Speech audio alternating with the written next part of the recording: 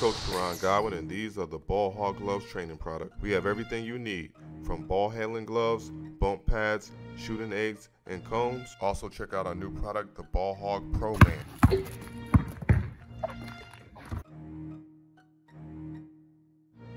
Came around that left shoulder a little bit too and just fed him in a perfect spot. 0.6 on the clock and a game winner for the Houston Rockets. There's the two bigs.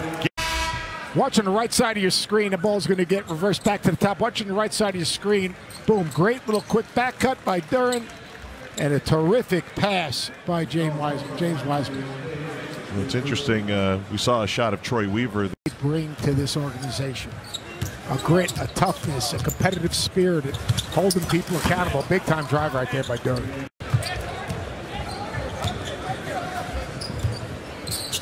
Good pass. Oh, Even when you're having a great summer league, you'll end up on a poster on occasion. pass right here. Bam, right there. Averaged over five assists a game and just cut across his face. Oh, it is. Cam Whitmore with a triple. Cam Whitmore shot the ball well from three today. A couple of three pointers as Duren off the feed. Alley oops for the Pistons. Right there, Jabari Smith Jr. Third pick last year's draft, 35 points today. There have been four 30 point games in Summer League so far coming into action today, and Jabari now has two of them. Seven points Wow. between those three today. Ivey, nice spin move. Two Pistons there trying to follow Duncan. We giving it to Duren? Or maybe even ball screening for him.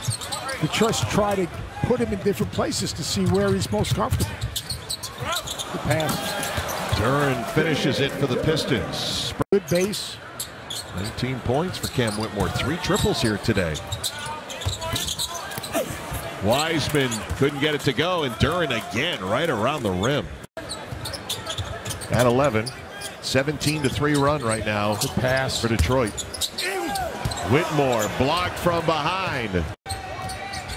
38 points for Jabari Smith, made second team all rookie last year after being selected third. Duren's been a problem here in the fourth quarter as he continues. 71 points in his first two games, and almost all of them have come in the last six quarters. As Ausar Thompson hits Jalen Duren for another alley oop.